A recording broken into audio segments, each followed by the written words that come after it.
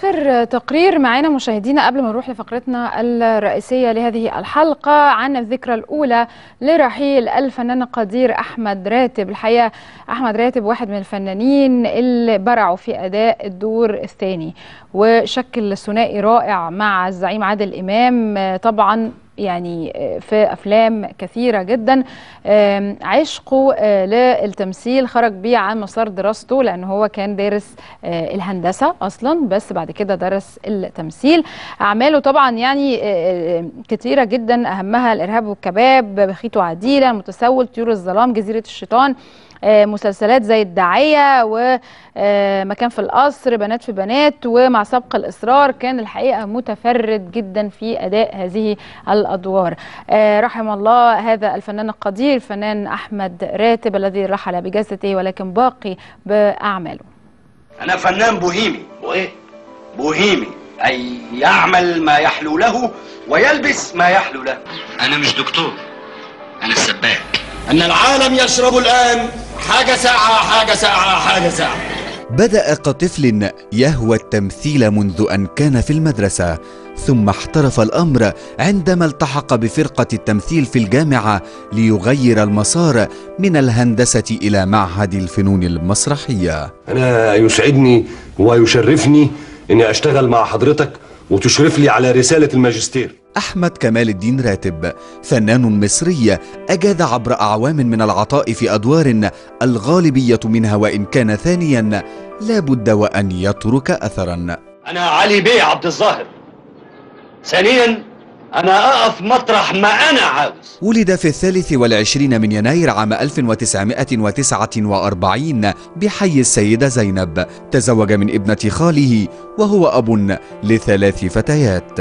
العالم كلنا كلهم لا ما تخافش كلهم متعودين يشوفوا معايا فلوس كلها وشها أنا قصدي يشوفوا اللي معايا. قدم الفنان الراحل تنوعا في الأدوار بأداء يحسد عليه بين الكوميديا والتراجيديا صال وجال في رحلته الفنية. كما شكل ثنائيا متناغما لم يمل منه النقاد أو الجمهور مع الزعيم عادل إمام في أعمال كثيرة. مصايب حواليا من كل جانب. مصايب في كل مكان تحيط بيا وانت في وسط كل ده انت فين؟ أنا مش لاقيك. لكن لا.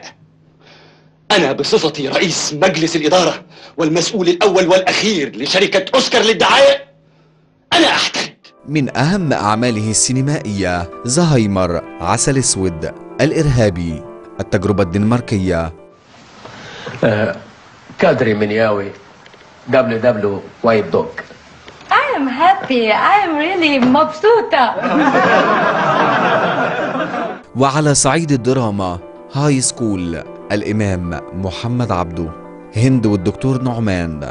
عماد عبد المنعم ما تحضرليش لغاية آخر السنة. يا فندم بس يا اتفضل بقى.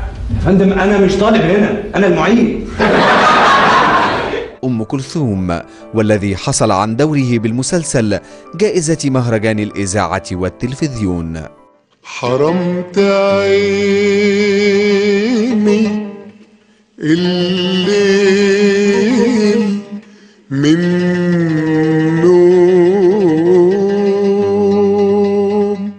كما كان له الكثير من الأعمال المسرحية. منها طرزان. سك على بناتك.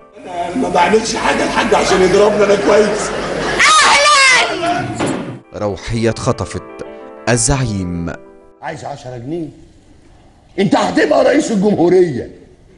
أنت من بكرة مش هتطلب حاجة من حد البلد كلها هتطلب منك. رغم مشاركته لعمالقة السينما المصرية إلا أنه أثبت أن البطل ليس بالضرورة ذا أثر وقد يسرق الأضواء عنه فنان ولو كانت المساحة ليست مماثلة. الشطرنج فيه قطع كبيرة ملهاش أي لازمة غير إنها تحمي الملك المهم إن أنت تاكل ملك الخصم قبل ما ملك الخصم ياكلك. سبعة وستون عاما. نهزهم الفنان الراحل ثم رحل عن دنيانا في مثل هذا اليوم عام 2016